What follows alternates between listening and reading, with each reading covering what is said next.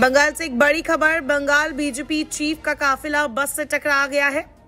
सिर में चोट लगने से सुकांत मजुमदार घायल बताए जा रहे हैं। बता दें, बस को ओवरटेक करने की कोशिश में हादसा हुआ है।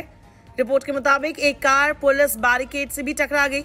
बता दें, बीजेपी अध्यक्ष सुकांत मजुमदार कोलकाता से लौट रहे थे। धुबोलिया में बीजेपी नेता एक फुटबॉल टूर्नामेंट में शामिल होने गए थे। प्रधानमंत्री मोदी आगामी 6 मार्च को बंगाल दौरे पर आ रहे हैं। इससे पहले बंगाल बीजेपी चीफ का काफिला बस से टकरा गया है और हादसे में सुकांत मजुमदार घायल हो गए हैं।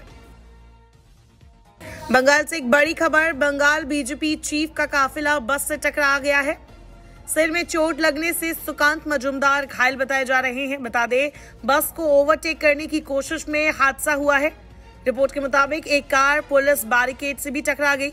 बता दें, बीजेपी अध्यक्ष सुकांत मजुमदार कोलकाता से लौट रहे थे। धुबोलिया में बीजेपी नेता एक फुटबॉल टूर्नामेंट में शामिल होने गए थे।